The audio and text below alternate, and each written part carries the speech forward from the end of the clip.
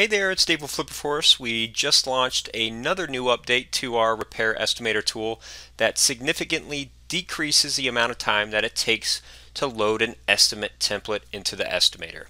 So previously when you load an estimate template into the estimator, it take up to 30 seconds for the template to build itself out and get all of the categories and repairs set up in your estimator. So obviously waiting 30 seconds for the template to load wasn't a great user experience for you. So our developers, we went back and they worked their magic on the code base and now we've got the estimate templates loading in only a few seconds. So now if I click the load template button, the template just is going to load all of our estimate data in just a matter of seconds. It's got our repair categories, our repairs, our unit prices. They're all there so that way we can start estimating our repair costs faster than ever.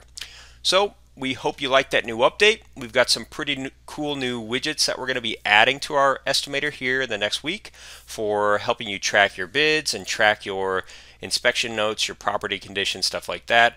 So that'll be launched here early next week, so be looking for those soon.